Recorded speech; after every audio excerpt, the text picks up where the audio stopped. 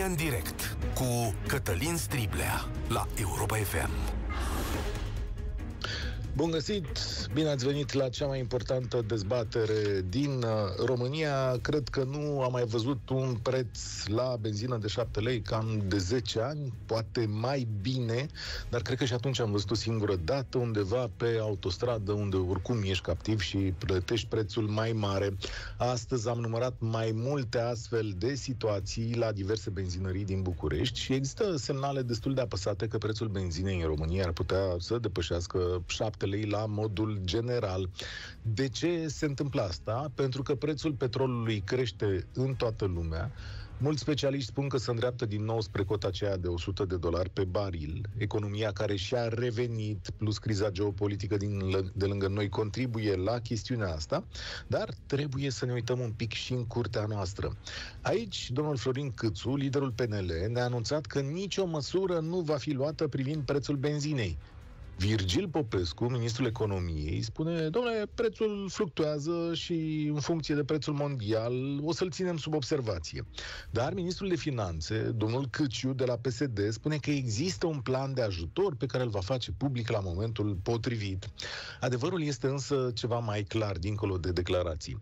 România nu prea vrea să plafoneze prețul la benzină, nici să reducă taxe acolo, pentru că statul român știa deja că aceste scumpiri vor veni și cu toate astea a mărit accizele la carburanți chiar la începutul acestui an cu peste 3% față de anul trecut. Deci, realizați, în decembrie știau că benzina se scumpește și au mai scumpit-o ei odată.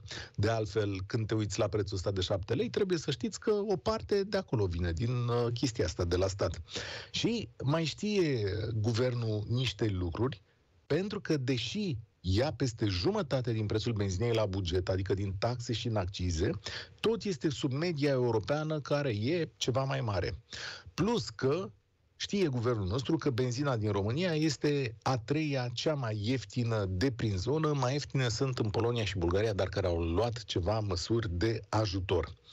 De aici vreau să vă atrag atenția și asupra ceea ce s-ar putea numi ipocrizia politicienilor și uneori mintea foarte scurtă a acestora, adică pe termen scurt în sensul ăsta.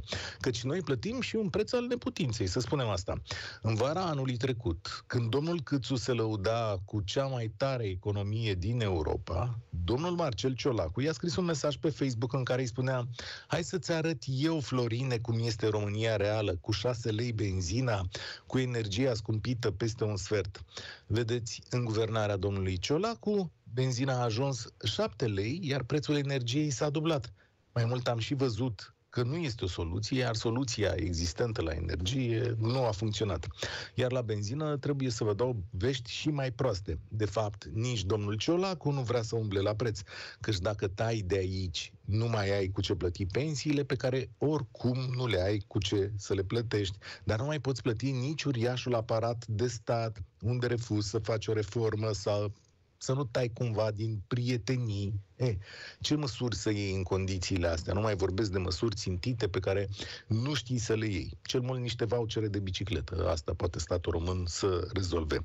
În schimb, clasa politică și-a dat un zar de fugă, cum se numește, a spus că există o investigație la Consiliul Concurenței, sugerând că marile companii sunt înțelese între ele să ne fure Până atunci însă eu văd statul cu mâna adânc, adânc în buzunarele noastre și cu gura foarte mare.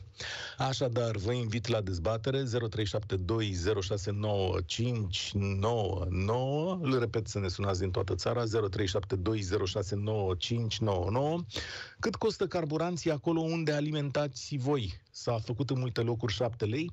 Ce soluții ați găsit ca să evitați scumpirile? Ar trebui ajutor de stat ca răspuns la prețul în creștere al benzinei sau nu trebuie să intervină?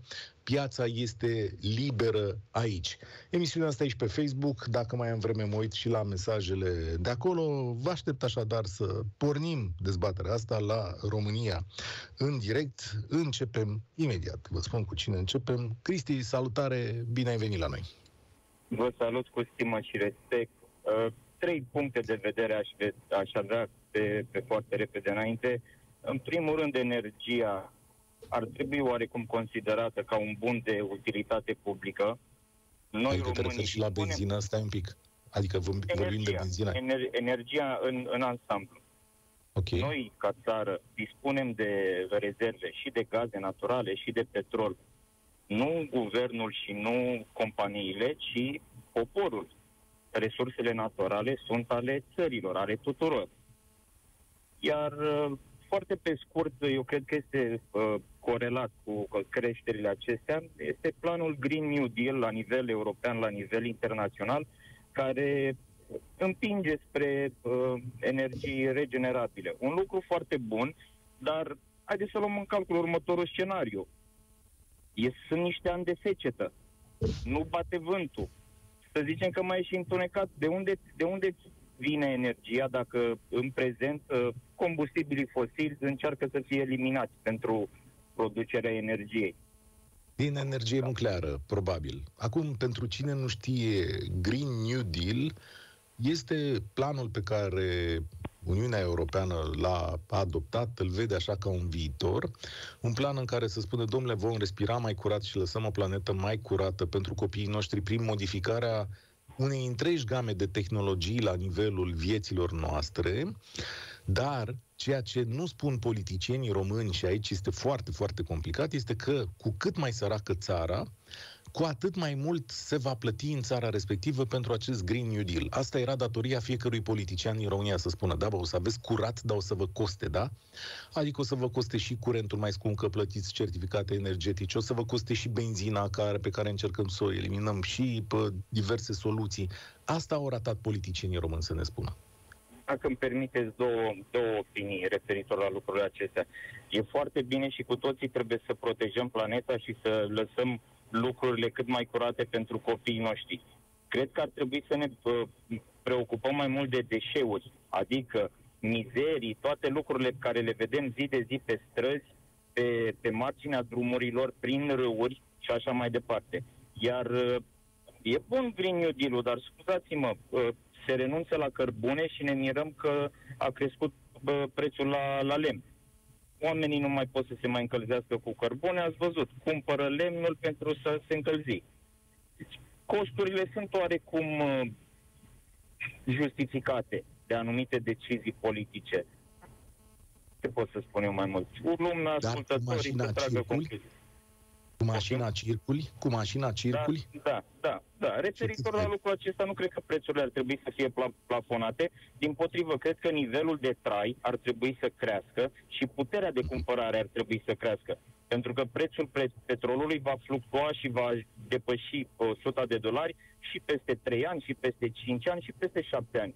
Deci nu trebuie să avem populația vulnerabilă la oscilații de preț. Din potrivă, ar trebui să crească niște salarii, ar trebui să crească nivelul de trai, puterea de cumpărare. Da, asta ar fi soluția pe termen lung. Astăzi însă benzina crește de la o zi la alta. Aia e marea ei problemă. Nu știu dacă putem merge musai în direcția asta. Sigur că și eu îmi doresc creșterea nivelului de trai. Da, e cel mai sănătos răspuns.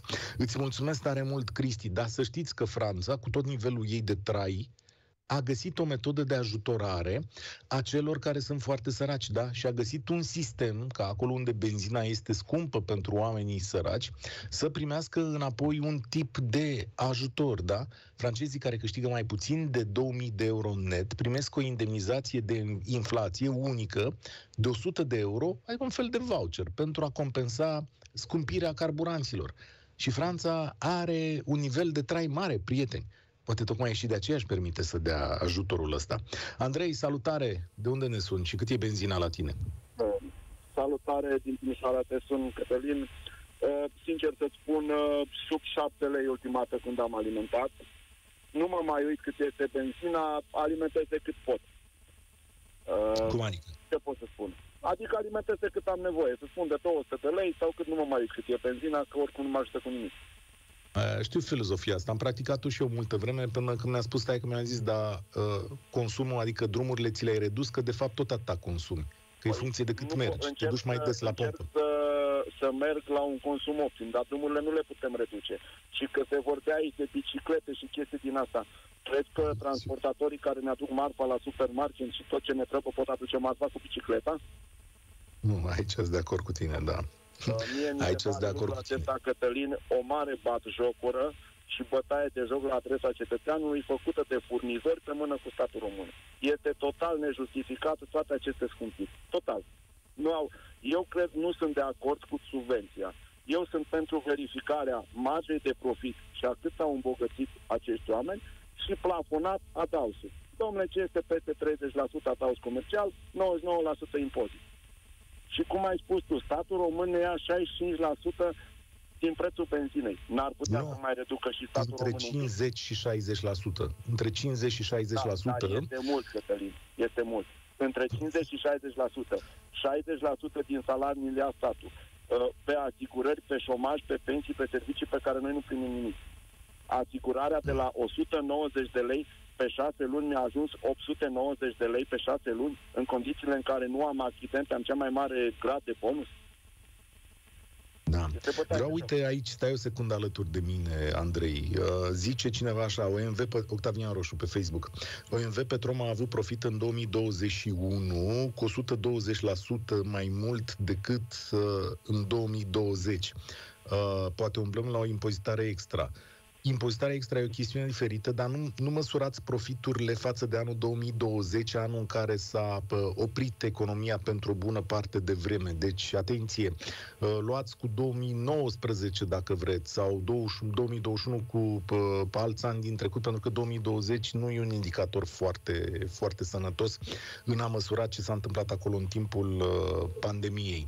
Uh, Andrei, nu am alte soluții la îndemână, dar văd că lumea merge către o impozitare extra. Ai fi de acord cu Uh, impozitare și extra? încă Pe tine ceva. nu te ajută. Uh, Da, uh, pentru că uh, statul trebuie să intervină. Noi avem ATF, avem Consiliul Concurenței. Sunt foarte multe produse care sunt nejustificate scumpe. Eu văd, am văzut produs în supermarket care costă, de exemplu, 10 lei și în Peco e 6 lei. Deci, eu înțeleg, trebuie să trească și dar să ne gândim. Omorâm toată, toți cetățenii, omorâm toate afacerile mici. Cine îți mai dă impozit? De unde? Da. Dacă locuri de muncă nu mai avem pentru că uh, mici întreprinzători închid, fermierii nu mai pot face față. Am vorbit de bicicletă, dar cel care uh, ară terenul, cel care plantează, nu poate să facă cu bicicleta, o face cu motorină, cu tractorul. Și Mulțumesc pâinea, că tare el mult, vinde Andrei. grâul Cu un leu și ajunge pâinea cu șapte.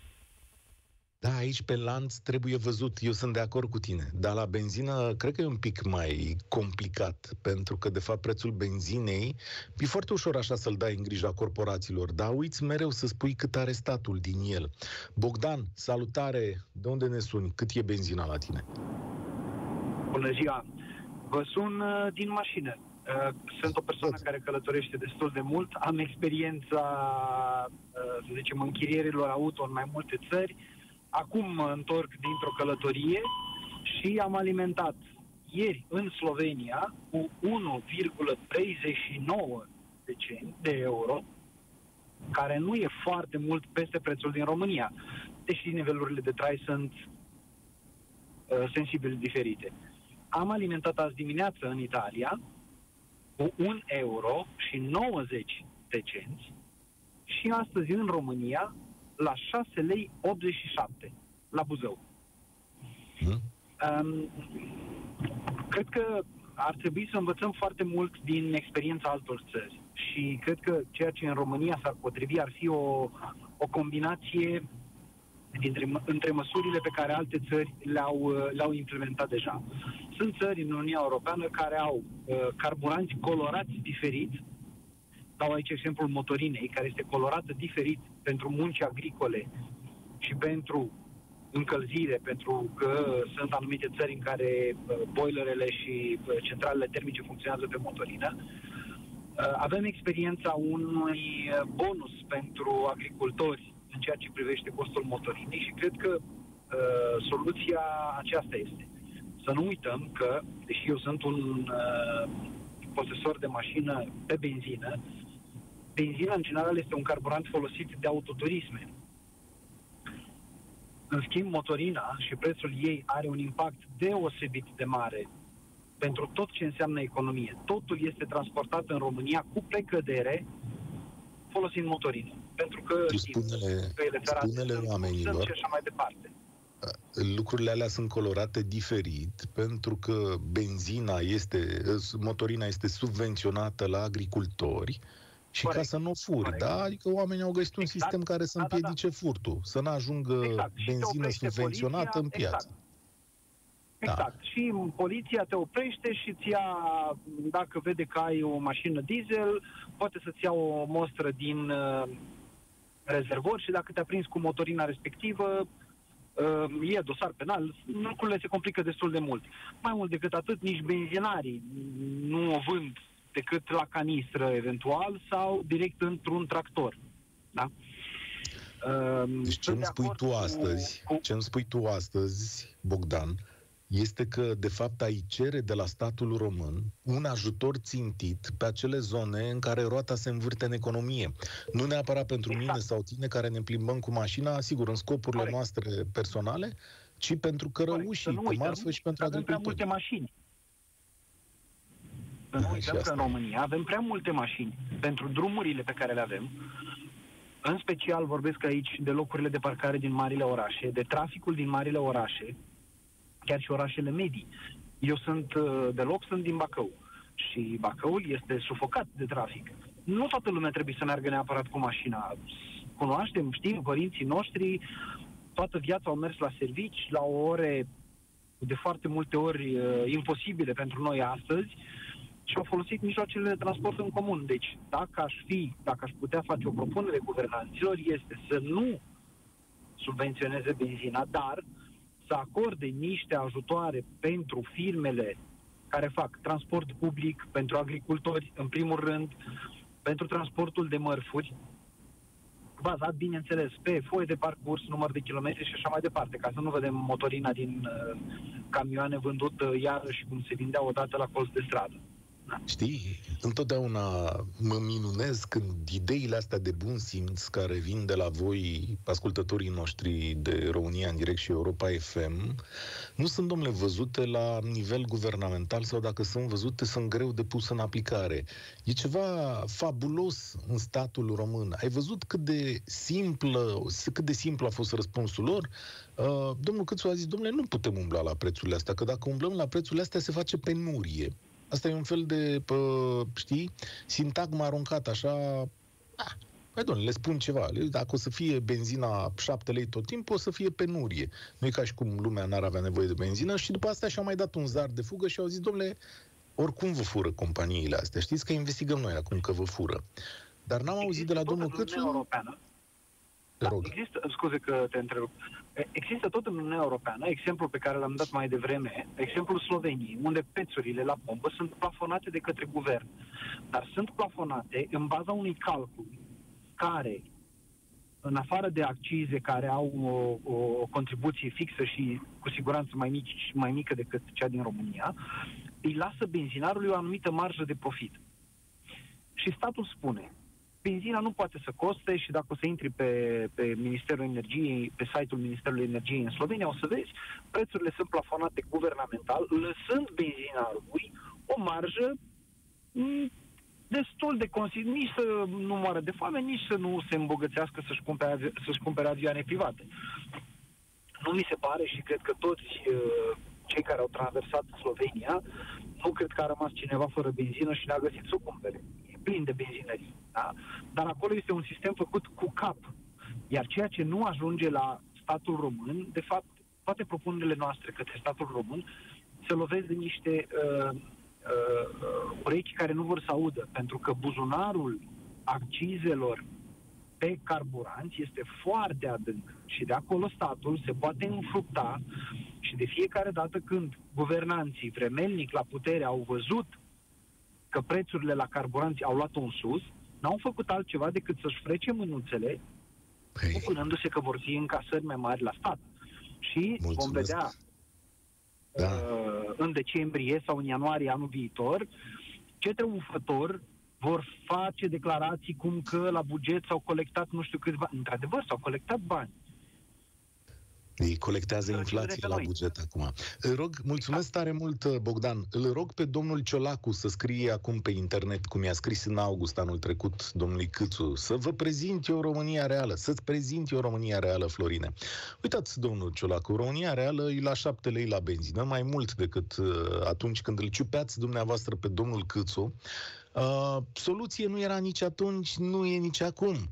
Și aș vrea să vă aud și pe dumneavoastră chiar la PSD argumentând piața și valorile ei. Adică asta ar fi foarte interesant să vină PSD-ul acum și să spună, domnule, nu avem cum să intervenim pe piață, e legată de prețul petrolului, nu prea avem noi ce să facem aici, asta e, uh, asta e viața. Sunteți la România în direct, ascultați Europa FM. Salutare, Cristian, cât e benzina la voi? Salutare, Cătălin. Ce să zic, Cătălin, din principiu ăsta eu sunt afectat ca și ceilalți, dar mai mult pentru că am o mică afacere. Asta e bazat pe transporturi și de mărfuri și vă dați seama că la nivelul meu sunt afectat zilnic, uitându-mă că prețul la pompă crește 2-3 bani pe zi, zilnic a depășit poate 50-60 de bani de la începutul anului. Soluțiile, cred că ar fi totuși ceea ce vorbea și interlocutorul meu înainte, că uh, să găsească statul ceva referitor la partea, mai ales pe partea de motorină, cu consumul de motorină, să găsească statul referitor la transportator, la agricultură și tot ce înseamnă asta, să găsească o soluție și sunt soluții, că a venit inclusiv uh, interlocutorul meu cu ele, sunt soluții. Uh, sunt foarte afectat, uh, chiar mă uitam că săptămâna trecută mergeam către Constanța și pe autostradă depășiseră 7 lei litru nu știu, nu știu, e din ce în ce mai greu, din ce în ce mai greu mie. Plus asigurări, plus uh, taxe de drumuri, foarte greu. Așa să zic. Te înțeleg. Dar în medie, la cât îți alimentezi pentru afacerea ta? Adică cam care e prețul mediu la care pui în ultima vreme? Păi, uh, mediu, să zic acum ce să zic, uh, chiar astăzi am alimentat, uh, m-am oprit și am alimentat, este undeva în jur de 6,80 lei. Mai avem anumite discounturi, depinde fiecare cum, cum avem un, un contract de furnizare de astea, dar sunt mărunte. Deci oricum, nu știu, eu sunt totuși un consumator mai mic, pentru că fiind afacerea mai mică, sunt un consumator mai mic. Dar mă gândesc că cu un an în urmă totuși diferența asta mai intrau în partea mea de investiții și nu știu ce, pe când acum foarte greu. Tu ai mărit prețurile sau uh, tai din profitul tău? Cătăline, efectiv nu poți să mărești prețurile, depinde acum cum ești. Sunt anumite, vorbim de partea de contracte care sunt, care le închei și e mai greu de ajustat, sau sunt, cum e cazul meu, neavând contracte, lucrând efectiv pe, știu, pe baza de burse de transporturi sau ce astea și ei, ei uh, curse respective și încerc să mai negociez, dar uh, foarte, foarte greu pot să mai dau ceva. Uneori merge aproape sub existență. Eu gândește-te că fiind foarte mică mă descurc eu. Eu fac multe dintre treburi, sunt în momentul ăsta chiar și conduc. Este destul de, de dificil. Vă dați seama că undeva trebuie să tai. Că, na, dacă tai de la deci tine... Automat... Asta vreau să știu. De unde ai tăiat? Păi, efectiv, tai din zona mea, să zic. Din zona mea de ah. profit. Că asta, asta face. Undeva statul cu asta ne ajută pe, pe noi mici întreprinzători. Ne ia aproape în totalitate tot ce putem să mai facem. Da, zile la oameni care n-au afacere și care sunt angajați, că atunci când vorbești de zona ta de profit, de fapt e din salariul tău. Pentru că tu salariul l-ai cam ca profit, nu? Da, e... pentru că vă stai seama că asta înseamnă profitul că, na, fiind o mică afacere, uh, lucrez pentru mine și automat uh, îți dai seama că asta este. Ca să înțeleagă toată lumea cum merge treaba. Mulțumesc, mulțumesc tare mult. Ne auzeam, nu ne auzeam strălucit. Îmi dau seama că omul muncește și știu că ne ascultați pe drumurile din uh, România. Eu o să spun mereu, inflația e parte din viața noastră. Nouă ni s-au întâmplat lucruri și mai rele. Pentru generațiile mai tinere, trebuie să știți că acum aproape aproape 30 de ani, ne-am trezit de pe o zi pe alta că nu mai aveam bani deloc sau că banii noștri nu mai însemnau nimic, exact cum se întâmplă acum în Turcia. Uh, România a avut parte de o stabilitate. Nu ne îngrijorăm foarte tare că la un moment dat cresc prețurile mult de tot, ne îngrijorăm la răspunsurile pe care trebuie să le căutăm. Vreau să adaug înainte de a trece la celălalt telefon o veste proastă pe care o dă astăzi publicația Profit, ca să înțelegeți de ce statul român nu vrea să umble deloc aici în veniturile sale din benzină. Haideți să vă zic așa, Profit publică în exclusivitate un articol care se numește în felul următor.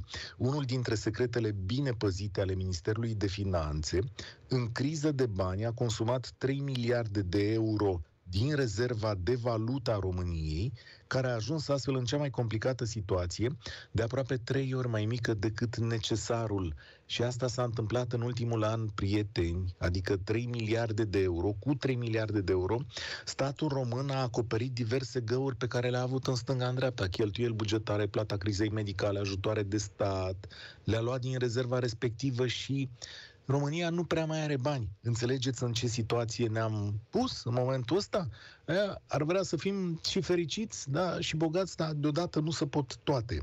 Uh, ia să vedem, unde rămăsesem? La Cristian sau la Florin? Ia, cred că am pierdut eu șirul aici. Hai să vedem cine intră. Florin. Florin, salutare, salutare, bine ai venit. E vina mea, eu am fost neatent. Salutare, nu e nicio problemă. Da. Uh, problema... De, fa- de fapt, de drept, cred că problema este că, pe care și toată lumea o știe, că nu se vrea să, să se vină cu anumite soluții.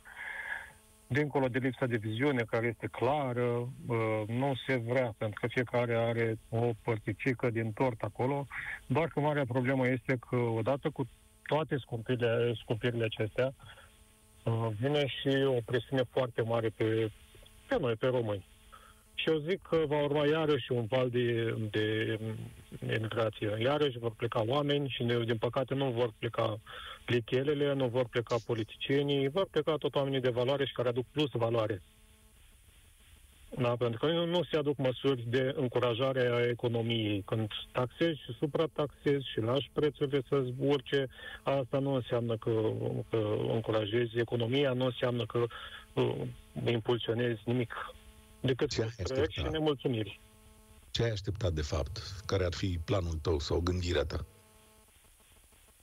Planul meu, nu știu, eu cred că dincolo de prețurile la benzină și așa mai departe, nu știu, eu am două, aș avea două idei.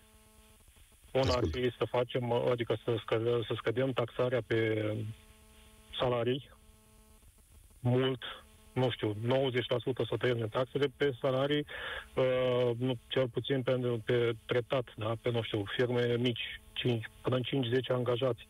Pentru că foarte multe firme nu se pot, sau cei care sunt la început de drumuri, mici afaceri, nu se pot dezvolta tocmai din cauza aceasta, pentru că au nevoie de un om, dar nu și-l permit.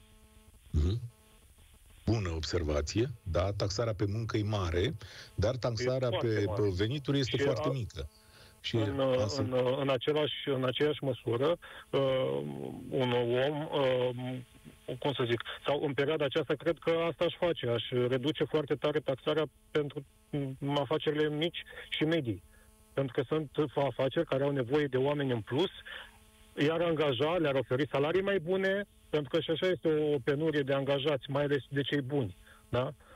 Și uh, nu cred că, nu știu de câte lume s-a gândit sau cât din cei care ne conduc s-au gândit, dar uh, faptul că tu scazi aceste taxe, de fapt, pe termen lung, mediu și lung îți vor aduce doar foarte mulți bani în plus, pentru că un singur angajat poate aduce un profit lunar, nu știu, de 100.000 de lei, de 200.000 de lei, în funcție fiecare, fiecare în funcție de domeniul în care lucrează. Da? Și banii aceia se întorc în economie, prin TVA, prin impozite, prin așa mai departe. Și în al doilea Statul rând, ca să o punctez nu a ales modelul ăsta. Așa, zi și al doilea rând. Al doilea rând, uh, cumva tot în aceeași idee, ar fi uh, pe partea de PFA să existe doar un, un impozit unic și atât. Și restul ce ține de sănătate și de pensie să fie uh, facultative, dacă vreau. Nu? Eu poate fac, nu știu, spații de joacă pentru copii și vreau să mă autorizez, să plătesc 16%, 10% cât e impozitul. Dar nu pot. Da? Eu după serviciu, și aici mă refer doar la cei care sunt angajați la societăți, da? la firme. Eu în timpul meu uh, de lucru, eu sunt angajat, spre exemplu, la o societate, îmi fac treaba. După ora 4 sau 5 când ajung acasă, mă duc și cioplesc în lemn. Și poate de acolo mai produc niște bani. De ce mă obligi tu ca să plătesc din nou și acolo sa, uh, pentru pensie, pentru asigurările sociale, pentru sănătate și așa mai departe? Nu e cumva un soi de dublă impozitare? Pentru că mi bani și de acolo și de acolo? Sunt de acord cu tine aici, așa ar trebui să fie. Statul român a procedat așa pentru că el consideră că sub PFA se ascund multe salarii. Dar uh, unde există carte de muncă, cred că lucrurile ar trebui să fie mult mai simple. Adică omul este deja asigurat în sistemul sanitar, poate să-și facă asigurarea cum dorește el sau ar trebui să poată să facă lucrul ăsta și să fie lăsat la liber pentru restul activităților uh, sale. Mulțumesc tare mult! În schimb, să știți că statul român ne-a dat niște beneficii așa nouă românilor, adică și cu niz de șmecherie, dar, de exemplu, dacă ai o afacere în România, statul român o consideră mică până la un milion de euro și impozitează la 1%. Băi, da, cine are afaceri de un milion de euro nu mai are afaceri chiar atât de mici. A fost un impuls pentru societate, dar aici este un oarecare doză, oarecare. E o doză mare de dezechilibru. Alexandru, salutare aici la România în direct de la benzină plecasă în de unde Alexandru din, Alexandru din București. Strict da. la problema prețurilor carburanților, vreau să mă refer. Atâta timp cât există cerere pe piață, ă, oferta poate crește până la infinit, să zicem așa. Atât timp cât uh, este coadă la PECO și oamenii bagă benzină. Că bagă tot de 100 de lei mai puțin litri, stat tot bagă. Benzinarii și statul n-au de ce să piardă. Statul român, datorită pandemiei, a fost, este într-o gaură financiară destul de mare care trebuie acoperită de undeva. De undeva de unde română nu se poate abține. Vicii, carburant, Auzi? cu electricitatea și gazele, spuneți? Eu n-am ieșit din casă de multe zile de acum și chiar îmi spun colegii, îmi scriu pe mesaje că e cam gol orașul. E adevărat că se circulă mai nu, bine în București? Nu, nu, nu. Eu uh, am tras mașina un pic pe dreapta. Am o mașină de fabricație românească într-o stare foarte bună. Am uh, tras-o un pic pe dreapta și am scos de la naftalină bicicleta. Am 12 uh, km de acasă, din centru, până la periferia București, unde lucrez. Dimineața este cam friguleț, într-adevăr. Acum, la temperatura care este acum, e ok. M-am echipat, am bicicleta în stare bună. La traficul care este, e prelungirea Ghencea, unde lucrez eu, este același trafic dimineața dinspre exteriorul Bucureștiului către centru, bară la bară, iar după ora 3 traficul acela se mută din centrul Bucureștiului către exterior. Dar stau și mă uit în mașină, este omul și mașina. Vorbim de turisme. Nu vorbim, eu lucrez în transport de marfă, sunt șofer. Deci este omul și mașina. Omul și mașina. Am deci înțeles, mașini da. care ies de pe o stradă, fac dreapta pe următoarea stradă. Deci chestii foarte mici, foarte scurte. Oamenii sunt foarte, au devenit foarte comozi Într-adevăr, este fric să stai în stație, este fric să zic să mergi pe o bicicletă sau trotinetă electrică, cum e acum. E un pic periculos că nu avem infrastructură, dar cu un pic de grijă, cu un echipament corespunzător, cu multă atenție, supraviețuiești. Dar, dar tu ai lăsat, mult... ai lăsat mașina din cauza prețului la benzină sau pentru că e aglomerat? Uh, nu, aglomerația o evitam venind la serviciu mai devreme de ora 8.30, că nu mă deranja, și poate mă duceam uh, seara mai uh, după ora 6 acasă. Dar și din punct, pe mine, ca să vin, am 24-25 de kilometri dus în toți, la un consum minim de 10%, mașina este pe benzină, uh, la 7 lei litru, cât vin? Vreo 3 litri, vreo 20 și un pic de lei. Nu mai spunem de uzura mașinii mers bar la bar. 20 ori 5 zile sunt 100 de lei pe săptămână, ori 4 sunt 400 de lei, plus uzura mașinii. Bă, și ești și mai sănătos. Acum, este și mai ai sănătos. făcut un pic, S-a mai dus și un, pic kilogram de mișcare, da. De Ar trebui să fii, exact, cum să mai spune astăzi pentru noi, inspirațional. Mulțumesc tare mult, Alexandru. Încerc să mai fac loc la două telefoane. Uh, mituri. Spune cineva, domnule, România care are atât de multe resurse naturale, ar trebui să aibă prețul mai mic la benzină. Uh, da, sigur, asta poate chiar George Simion să scrie asta, ar mai lipsi să spună că facem o naționalizare și o să fie prețul mai mic la benzină. Oameni buni, trăim într-o lume globală. Prețurile astea nu se mai fac doar aici de capul lor. Nu e ca și cum ar avea România o benzinărie o stație mare de făcut benzină, da, o rafinărie, extrage petrolul românesc, face numai rafinărie românească și o vinde la un preț mai mic că sunt români. Nu. Și ea la statul român se va adapta. Pe de altă parte, afaceri cu statul român te doare capul. Ce ar trebui să facă România pentru resursele alea naturale e să ia niște redevențe cinstite, da?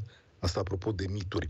Ionut, salutare, ești la România în direct. Salutare, salutare, salutare la toată lumea.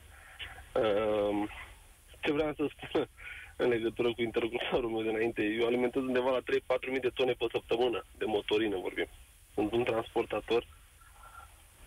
Uh, fu, da, e... Vreau să spun doar cum a fost discuția înainte, acum la vreo 2-3 interlocutori înainte, Așa. în funcție de accizele care sunt. Știți cât este motorina în Republica Moldova? Undeva la 4 lei. Nu mai este. Așa, ok. A, știți că Petrobras și multe Lucoil și multe firme care extrag, extrag uh, petrolul de la noi și motorina. Moldovenii care zilnic sute de cisterne de motorină în Republica Moldova. E motorina noastră, care la noi e 7 lei, la ei e 4 lei. Nu văd, nu văd schema. E, e ceva ce-mi, ce-mi scapă aici. Care e schema? Adică, da, de la explică. Petrobras de la da? Petrobras da. se încarcă sute de camioane zilnic care merg cu motorină și benzină în da. Republica Moldova. Ah, Acum okay. se vine motorina cu 4 lei. Păi da, restul sunt accize, păi da, chestii de genul ăsta. sunt accize de la noi. Exact cum mai spuneam înainte, cum a spus cineva înainte, statul să mai lase de la el, cum a spus și dumneavoastră. 50-60% să duc la stat. De da, ce nu se duce și la stat doar 20%? Păi am să zic de ce. Păi zic, pentru că nu mai are cu ce plăti pensiile și angajații de la stat. E atât de simplu. Oricum nu are cu ce să-i plătească atât să Cine suferă da. cel mai mult? Nu, cum a spus interlocutorul, că merge cu bicicleta. De acord, noi nu putem să mergem cu bicicleta. Uh, mărfurile la ora actuală nu se pot transporta cu bicicleta. Se transportă cu niște camioane. Transportul de mărfuri, care este cel mai afectat, după părerea mea, la ora actuală, la criza asta de motorină care doar că sunt multe firme mari la noi în România de transportatori, de transport, care sunt și politic. Nu are rost să le dăm nume. A mai fost o dezbatere pe chestia așa, asta. Așa, zi, zi, zi, zi că curios, tot aud de firmele astea, na? Sunt foarte multe și sunt ăștia mari care sunt. Foarte, cu sute de camioane, mii de camioane, probabil. Și suferim noi ăștia mici care avem un camion, două, trei. La noi... Care-i, care șmecherie? Deci noi, cum am spus și interlocutorul, noi luăm cursele pe Bursa Internațională de Transport sau după Bursa Transportului, unde nu putem să negociem dacă mai vrem un 50 de lei în plus la o cursă, ne zice, păi știți că cu tărică eu dau cu 50 de lei mai puțin. Vreți să o luați de bine, nu tot bine. Trebuie să mergem. De unde pierdem din profitul nostru. Trebuie să muncim, trebuie să ne ținem afacerea cât de cât pe picioare, trebuie să ne ținem familia sănătoasă și să putem să, deci noi vrem să muncim, la ora actuală putem să mai muncim, să facem un profit, să zicem, băi, punem și noi un bani deoparte. Nu. Să trăim un pic mai bine. Să trăim și noi bine, să putem să trăim în țara asta. Noi ca transportator la ora actuală cu motorina care e aproape 7 lei pe dejurnează. Am alimentat cu 6,80. Astăzi. Da. Asta e. Mulțumesc. Aici. Și întrebarea Mul... mare ar fi de ce Ia. statul din Republica Moldova poate să, poate să pună undeva la 4 lei când motorina asta e cumpărată de la noi din România? Da. Întrebarea, nu pot să-i dau eu răspunsul, dar am o bănuială. Mulțumesc tare mult, pentru că Moldova e și mai săracă decât România și guvernul de la Chișinău știe că nu și-ar permite să facă chestiunea asta.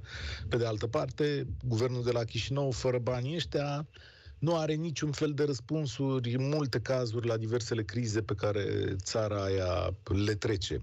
Uh, ca de obicei, într-o astfel de situație, că tot am ajuns la final, echilibrul se rupe.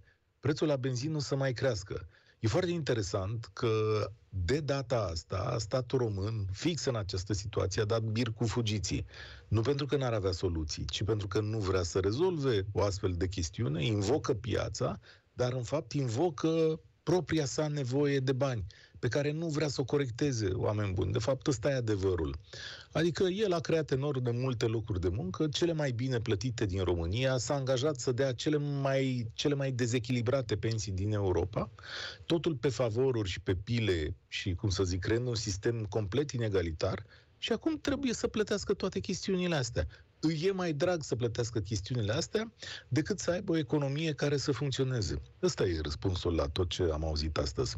România în direct se încheie aici. Eu sunt Cătălin Striblea. Spor la treabă! Participă la România în direct de luni până joi de la ora 13 și 15 la Europa FM.